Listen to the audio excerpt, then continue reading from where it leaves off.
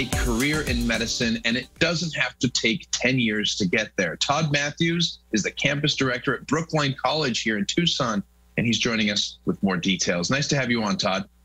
Great to be here, Alex. Thanks. So tell us a little bit about the programs at Brookline and how they enable somebody to have this this amazing career in medicine without spending their life trying to get there. Sure. At, at Brookline College, we, we focus really on healthcare programs. Most of our programs are going to be able to be completed really in less than a year, uh, typically anywhere from you know eight to ten months. Amazing, and there are so many benefits to doing this. Obviously, you further your career, but what are some of the other ones you would tell people? Yeah, I think that the big thing is we have changed our focus really because of demand that employers want. We focus more on medical assisting, patient care technician, pharmacy tech, phlebotomy, and our newest program, surgical technology. So these are those high demand healthcare programs that we're able to support the Tucson market in. Yeah, incredibly valuable experience, like you're saying, for any medical office to be able to offer. Um, financial aid is something that a lot of people may rely on uh, to get through school. Do you offer that at Brookline? Oh, oh yes, we have um, actually two financial aid officers that work specifically with students, and all students have different types of financial aid needs. So what we try to do is see through eligibility is to put together a good package that's affordable for them.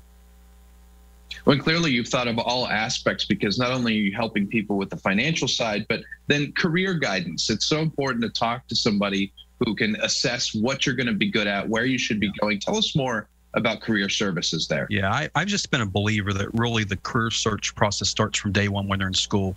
Typically, and I go through my own experiences when I was a graduate from college, uh, that's when I started looking. But what we want to do is start preparing students to build that resume from really day one to take their prior experiences and build their school experiences because ultimately they'll go into an externship, which in many cases we want that to lead to a job for them so they can work in their field. Mm-hmm. Yeah, and so it's great to think about going to school and and and again setting yourself up for a great career. But we all live busy lives, and so tell us what a typical week looks like for a student. Um, what are the hours, et cetera? Yeah, for, for our students, typically many of them do work and they have families, and some may work one or two part time jobs. So it's important to be able to have that that balance. So in our cases, students right now with COVID, it's changed things a bit over the past year and a half.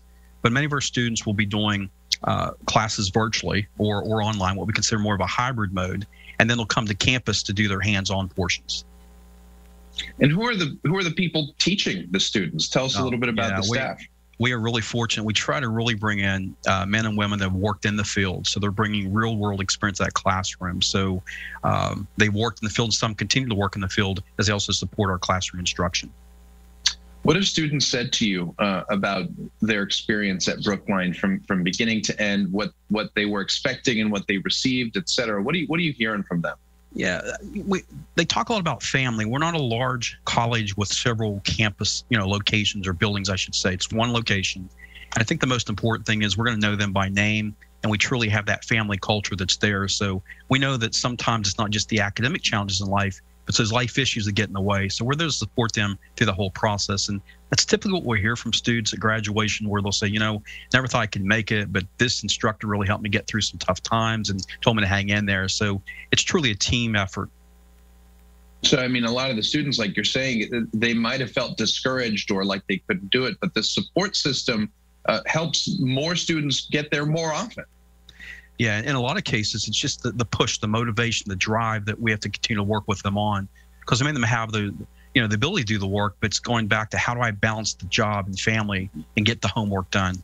And, and again, the fact our programs are so short term, it's not where they're investing you know two years of their time. We can get them in and get them out quickly and into the workforce.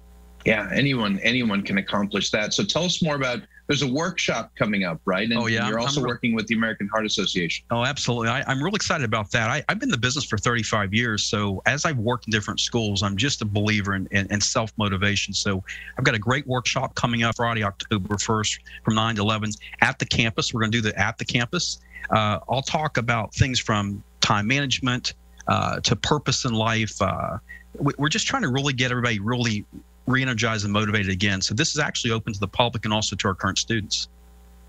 Excellent. Todd Matthews, a lot of great information. I'm going to direct people to the website uh, to get their journey started. Thanks for being on. Great. Thanks for having me. Appreciate it. Of course. And if you'd like to learn more about the online and in person classes on your way to an exciting new career, visit brooklinecollege.com And don't go anywhere. The Morning Blend will be right back.